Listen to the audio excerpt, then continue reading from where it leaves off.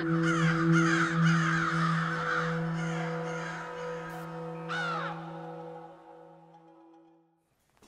do we feel heading into the draft, Rose?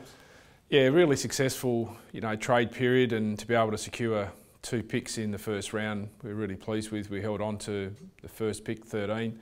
Um, top, pick nine came through as a result of the Paddy Dangerfield deal. So to have two picks in the first round, you know, get some access to some high-end talent, we're, uh, we're really excited. Picks 9 and 13, obviously, first time in the club's history we've had two in the first round. Um, happy with that result? Yeah, very happy, um, extremely happy. I think you know with what we did with the trade period, bringing those uh, those guys in that we needed to cover some needs.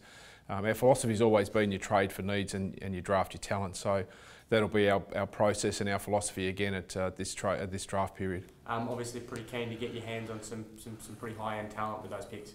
Yeah, absolutely. Um, you know the the expectation is that those guys you know come with a potential capacity to play um, you know, fairly quickly, but that's not always the case. You know, you need to, to make sure that they've have an understanding of how to train um, an AFL environment. Um, there's quite a lot of work you often have to do with strength, particularly um, in that sense. And you know, then there's the the ultimate of learning a new game plan. You know, new teammates. So, but certainly there's uh, there's some high end talent available at those picks. Um, with picks nine and thirteen, does, does does positional needs come into it, or is it is it just just best best talent available? No, it's best best talent. Um, that's the way that we've done it. We'll certainly run you know across the needs of the club as well. So we'll keep a, an eye across that, but predominantly you, you tend to use your trade period for that. Um, you have a bit more time to work out where your specific holes are in your list as you go through the, the years. And, and look, we're a club that probably tries to work a number of years in advance of where we're at. So very difficult for us to have an influence into next year's list um, in regards to what that looks like now. Uh, so a lot of your planning goes around you know, your future and so therefore you go to the draft with um, I guess some potential ideal around um, making sure your needs of the future are covered a bit as well, but predominantly it's about talent. Uh, we, we drafted or we traded in a couple of South Australians. Do, do you place a priority on SA talent or do we just go whatever's available? Oh no, I think you go best talent. Um, you know, we've got a history of being able to do that um, and pick the talent, you know, in, in accordance to where it sits on your scale. Certainly, if there's a if there's a close call, we'd always love to go the local talent, um, and that's been shown by the way we've traded over the last period as well. But certainly, it's the idea is the best talent. It's a national competition, and you take the best talent from around the nation. Uh, in terms of the new bidding system, that's going to add a new element uh, element to the night. How, yeah. will it, how will it affect us, and how do you see the system?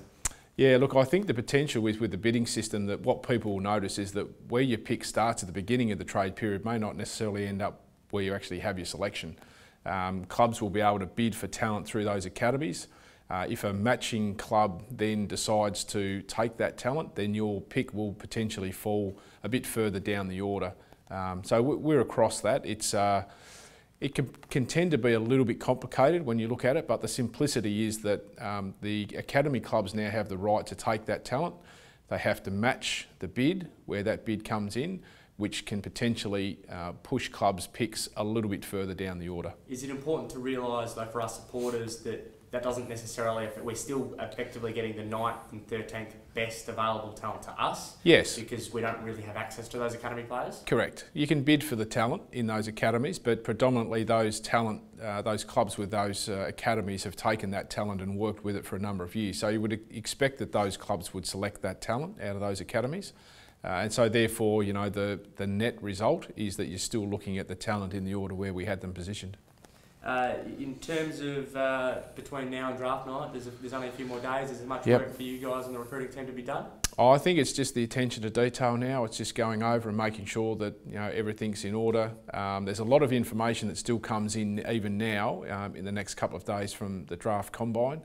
Uh, there's still some bits and pieces that come through uh, even as late as the weekend. So uh, predominantly, I think you know 95% of the work's already done. Uh, the list's pretty much set the order around where we think um, the group of players that we get will get access to is there. Um, uh, Don's been briefed. You know, our footy committee's had a briefing already. We'll probably have one more before the night, but yeah, predominantly, it's uh, most of it's done.